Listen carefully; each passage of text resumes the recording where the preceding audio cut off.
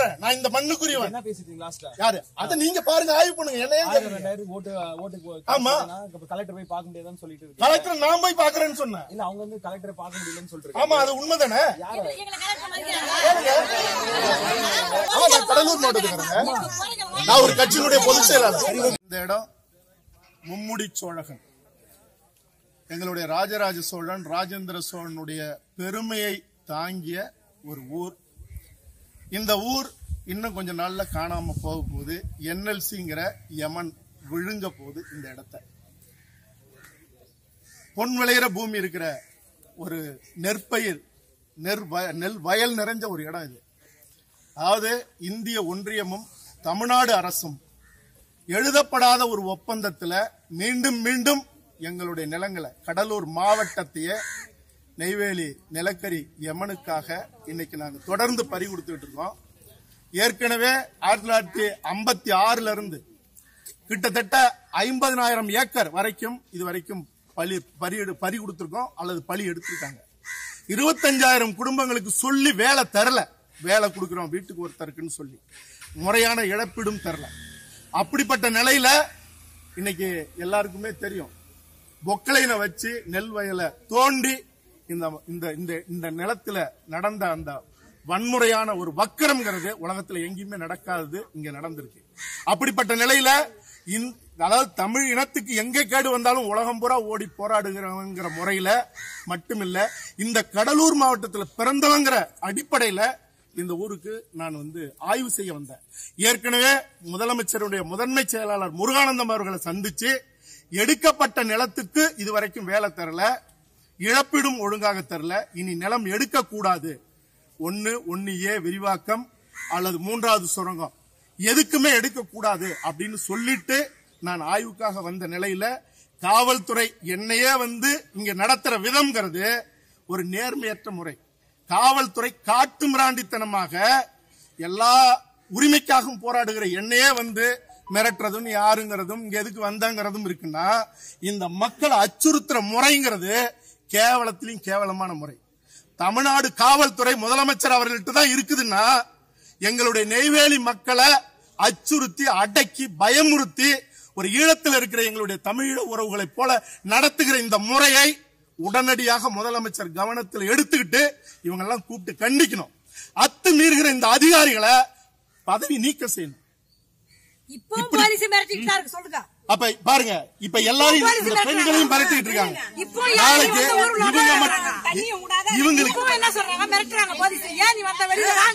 அப்ப இதெல்லாம் முதலமைச்சர் கவனத்துல எடுத்துக்கலன்னா இங்க வந்து நிக்கிறேன்னா மறுபடியும் கோட்டைக்கு வந்து நின்னு இந்த நிலைமைய உலகத்துக்கு சொல்ல வேண்டியது இருக்கும். தவிரவும் இங்க இருந்து கலெக்டர்கிட்ட பலமுறை நான் தொடர்பெடுத்தேன் நேரா அவகிட்ட தான் போறேன். அதாவது இந்த மக்கள் இன்னைக்கே இவங்களால முடியல. நான் அந்த வர வேண்டிய தண்ணீரை அடைச்சு வச்சு இந்த மக்களுடைய சம்பா பயிரை நட முடியல. மாடு குடிக்க கூட தண்ணி இல்லைன்னு சொல்றாங்க.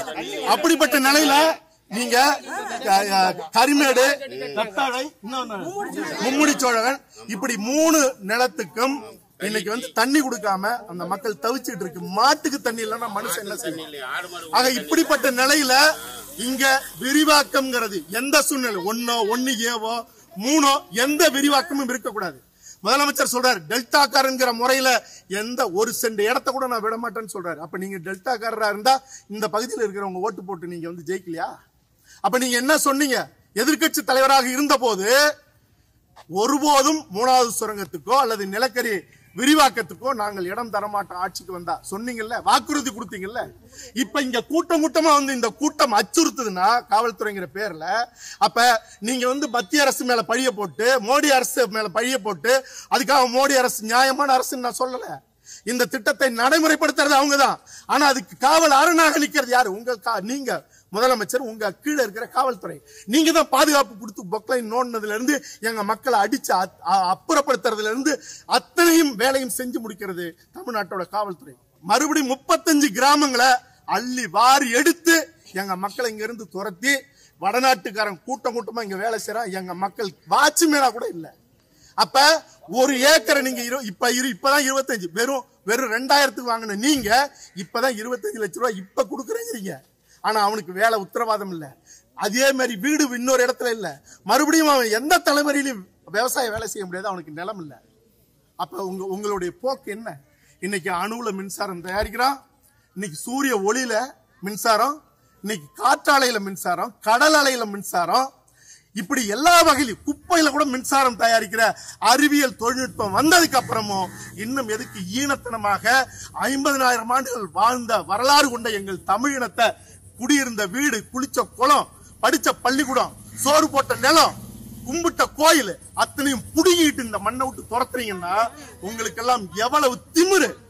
அப்ப இந்த மண்ணிலே வாழ்ந்து வாழ்ந்து இந்த மண்ணில் ஆண்டு இந்த மண்ணில் தலை தலைமுறை தலைமுறையாக இருந்த எங்கள் கூட்டம் நீங்க அடக்கி ஆண்டு அச்சுறுத்தி நாங்க ஓடணும்னா அவன் காலகாலமாக யுத்தம் செஞ்ச இந்த இனம் மறுபடியும் உங்களை எதிர்த்து யுத்தம் செஞ்சா நீங்க என்ன செய்வீங்க? நீங்க அவனை அடிக்க வரும்போது அவன் எதிர்த்து உங்களை நின்னா நீங்க என்ன செய்வீங்க? அப்படி ஒரு நிலையை நீங்கள் உருவாக்க கூடாது குறிப்பாக காவல்துறையில இருக்கிற காட்டுமிராண்டித்தனமான அதிகாரிகளை இந்த இடத்துல இருந்து மாத்தணும்.